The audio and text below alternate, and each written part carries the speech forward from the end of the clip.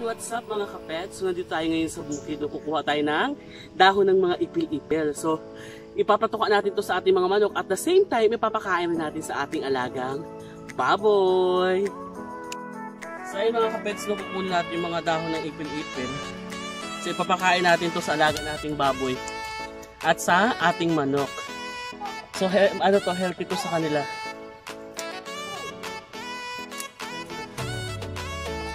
パパなくなってた。ほよ。ん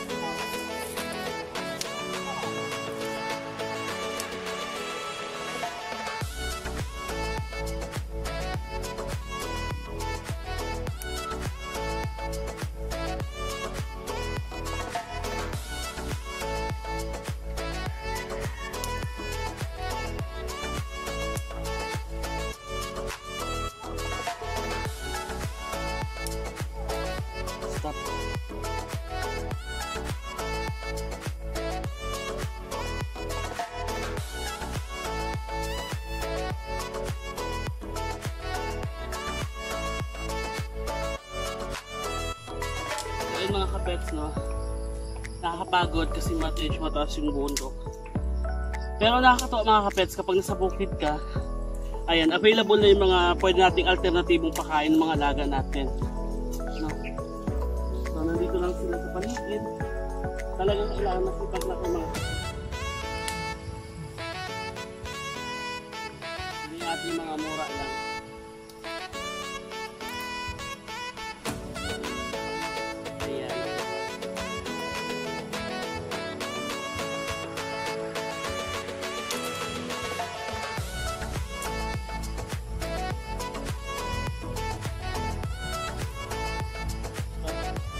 Ayun mga kapets no, nakakuha din tayo ng mga dahon ng ipil ipil. So ngayon, bababa tayo at pupunta tayo sa kulungan ng ating alagang manok at baboy. Tara mga kapets, samahan niyo ako.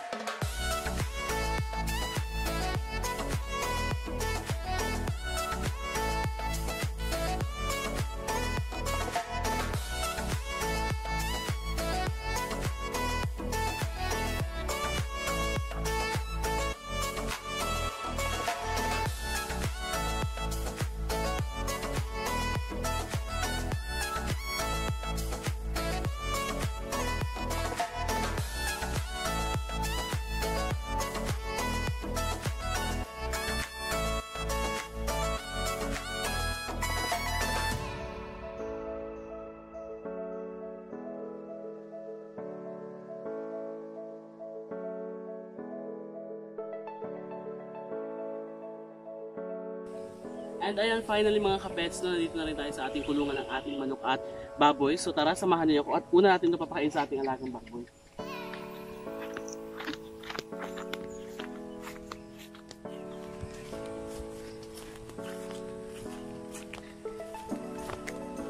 Ayan, kung nakikita niyo mga kapets, yan yung mga alaga nating baboy. Ayan, Kakain natin sa kanila. Ayan o, yung tatakaw nila mga kapets.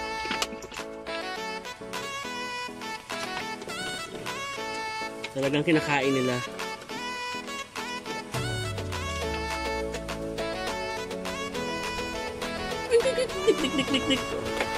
Ayan. So ito yung mga isa sa alternatibong paraan natin mga kapets no, para maging healthy yung ating baboy. No? Papak yung mga kangkong ilalaga natin, yung mga dahon ng gabi pwede natin ilagay. Itong mga ipil-ipil pwede rin natin itong ipakain sa kanila mga kapets. Kung yan, kung nakikita niyo mga kapets, talagang ang takaw nilang kumain. Yung mga alaga kasi natin baboy mga kapets, mga native yan sila.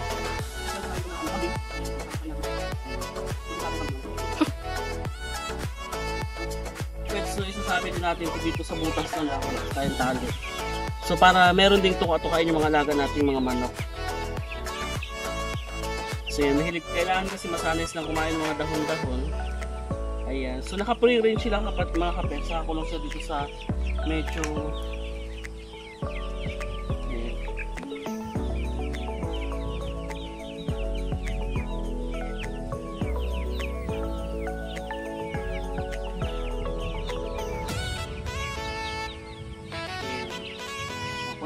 mga kapet, so tinutukan na nila. Ayan, diba? So yan yung ating purpose no, kung bakit tayo naglalagay ng mga bakong-bakong mga kapets. Sige, ito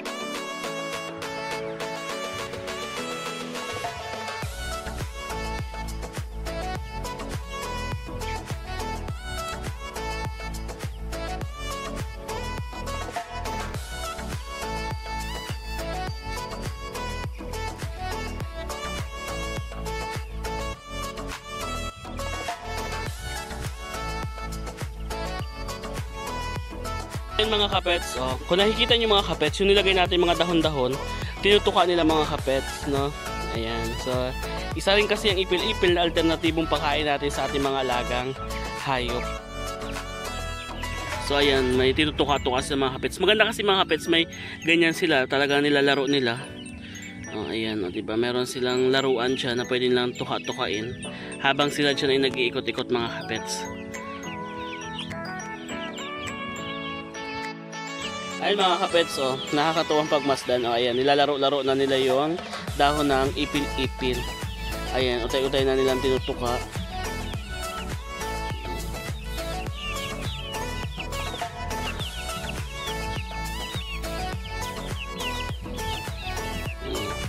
Ayan, di ba nag-enjoy sila sa pagtuka ng mga dahon ng ipil-ipil.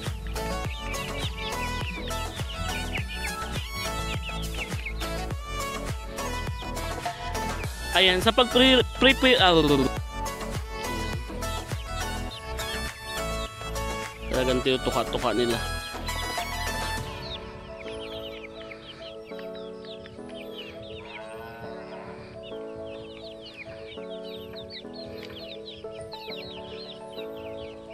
Nag-enjoy sila sa pagtuka ng mga dahon-dahon. Sa pagpipre-range ng mga manok mga kapets, no, sanayin natin yung mga alaga nating manok na kumakain ng mga damo-damo. Ayan, so time by time o every day dapat lalagyan natin yan dyan ng mga ah, dahon-dahon para meron silang matuka. Ayan, ang mga nagpukulitan. Ayan, dagang masigla yung ating mga alagang manok. So ayan mga kapets, so ayan, talagang masiglang masigla yung ating mga manok habang kinakain na yung mga dahon ng ipil-ipil.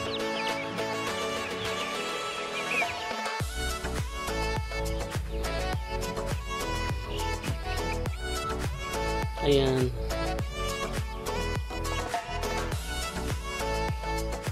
Ayan mga kapets, so talaga nakakatawang pagmasdan yung ating mga alagang manok, lumalaki na rin sila. Ayan, habang tinutukan na yung mga dahon ng ipil-ipil. Ayan, sanayin lang natin sila ng mga natuka-tuka dyan.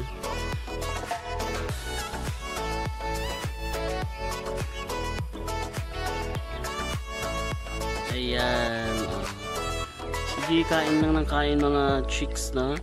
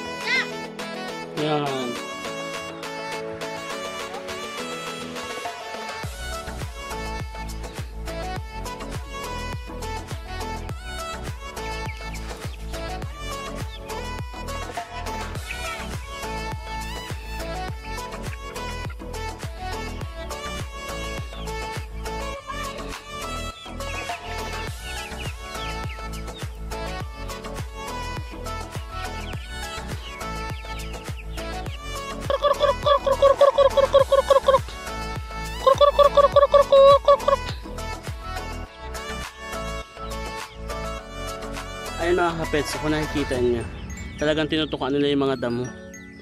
Ayan.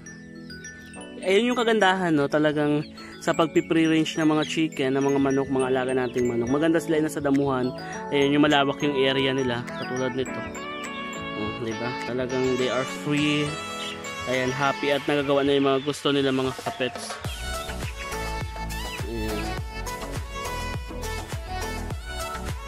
Kasi mga kapets, no, mga alaga nating manok, yung mga talagang ano sila, hindi nakakulong, yung talagang nasa malawak silang area kasi nagiging maliksi sila, nagagawa na yung mga gusto nila. Ayan, kung nakikita nyo, masaya yung ating mga manok.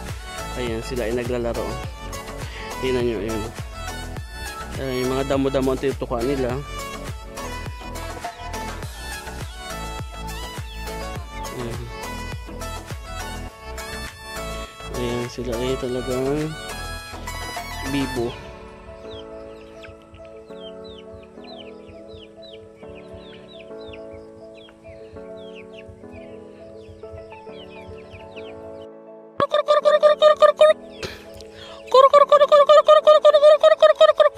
Ayan, naglalaro sila mga kapets. So,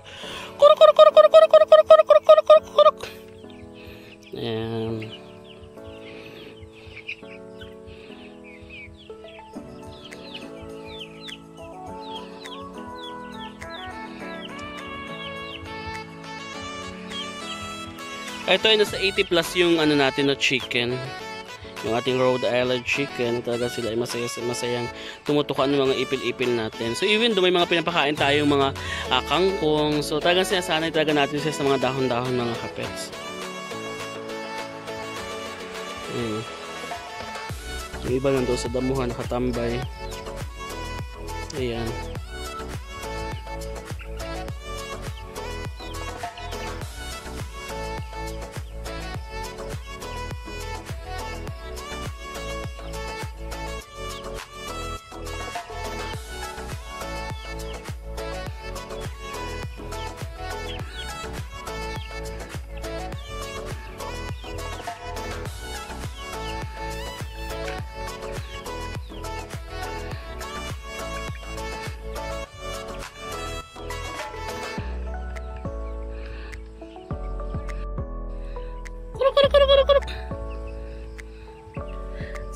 Ayan, happy chicken mga ka-fets, no? So, talagang, ayan, ayan, ayan, yung ating mga alagang manok. So, kahit papaano sila, eh, utay-utay na rin lumalaki. Ayan, nag-uumpis na silang maglakihan mga ka-pets. And thank you for watching mga ka-fets, no? Maraming maraming salamat for always supporting my vlog. Thank you, thank you for always watching my video, my buhay probinsya, my travel uh, content, and uh, lahat-lahat mga ka-fets. So, I am very grateful and thankful. So, once again, have a nice day.